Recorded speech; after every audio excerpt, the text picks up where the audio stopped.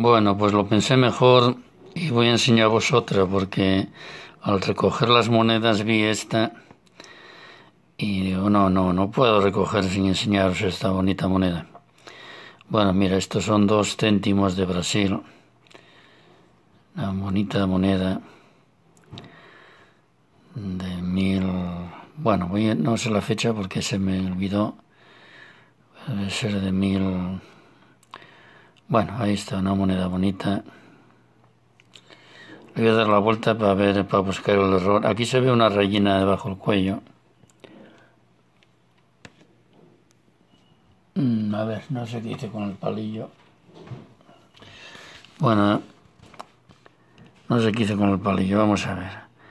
Aquí debajo del cuello se ve una rayina, ¿no ven? Una sobrecarga ahí. Eh, pero bueno, no le vamos a dar importancia. Voy a darle la vuelta a la moneda. A ver, apareció el palillo. Bueno, aquí está, 1969. Dos centavos. Como veréis aquí ya hubo un cuño antes, ya marcaron un cuño antes que el de dos centavos.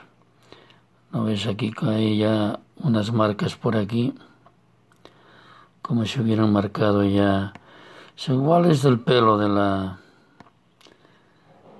de la imagen de la moza, de la chavala que está debajo. Voy a ver, son dos centavos y, aquí está esta pequeña recarga que es como si hubieran marcado un cuño antes. ¿eh?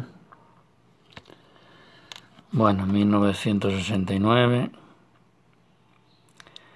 dos centavos, ahí está. Es bonita esta moneda, ¿eh? me gustó, cuando la encontré me gustó. Ahí donde la A y la V se ven rayas también por ahí. Es como si hubieran cuñado antes otra cosa aquí. ¿eh? Bueno, ahí vos la dejo, ahora sí voy a almorzar. Ahora sí me voy a ir a almorzar. Luego por la tarde mm, os enseñaré algún, os mostraré alguno de los sellos que tengo.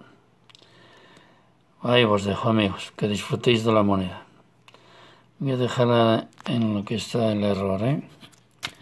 Vamos a dejarla aquí, que se vea el fallo.